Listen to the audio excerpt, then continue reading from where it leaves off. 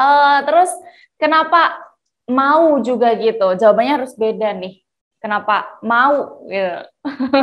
Kenapa tidak? Ya. Kenapa tidak? Aduh. Gimana nih? Kalau kenapa akhirnya? Ya, kalau dari saya sih ya memang uh, apa dari awalnya memang udah suka lagunya gitu ya. Uh. Dan apa uh, hubungannya tuh sebenarnya organik banget aja sih kayak dari awal yang iseng-iseng gitu. Jadi kalau misalnya ditanya kenapa mau ya memang karena suka musiknya gitu kalau saya pribadi ya gitu. Bukan karena oh ada agenda oh ini kita rilis oh kita gini kita kalau featuring oh marketing apa. Enggak enggak gitu gitu. Kayak awalnya orang awalnya mau bikin versi EDM gitu. Jadi kayak eh, su suatu hubungan yang organik aja sih gitu. Tapi yang waktu demo EDM itu ditolak gimana Oh, untung belum buat sih.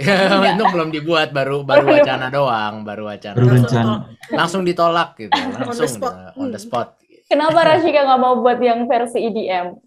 Nggak kebayang sih Dea, jujur kayak aku tidak membayangkan lagu itu ada versi EDM karena lagu itu lagu sedih sebenarnya ton. Jadi kalau udah dibuat kalau udah dibuat bisa kebayang dong. Kayak message tuh nggak sama maksudnya kayak message tuh jadi kayak aneh aja gitu. Oke. Okay, sampaikan okay. ya.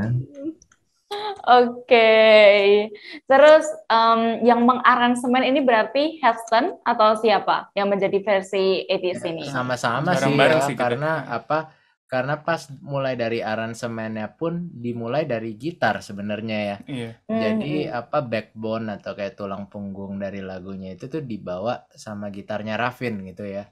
Uh, dan dari situ kita kembangin uh, sama-sama akhirnya uh, setelah dari demo yang simple, Rashika juga ikut ke studio. Eh, ada adjustment-adjustment dan ide-ide menarik lagi.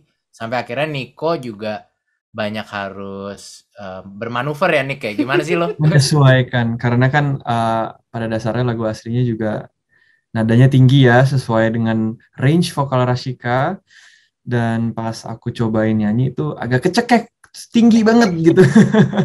Akhirnya ada ya kita arrange ulang beberapa bagian partnya supaya lebih nyaman dan juga uh, lebih enak lah untuk dinyanyiin dan juga didengar. Jadi kayak duet gitu ya. Jadi kayak duet benar. Yes.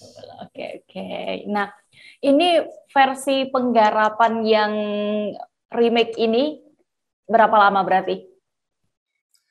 Untuk aransemennya sendiri sebenarnya cepat ya satu hari hmm, setengah hari yeah. bahkan. Uh, aransemennya mungkin tiga tiga jam lah tapi tapi ber, berikut sama recording dan mixing dan uh, seluruh proses produksi. mungkin tiga minggu empat empat minggu. Nggak nyampe satu bulan lah. Ingatnya sih nggak nyampe satu bulan.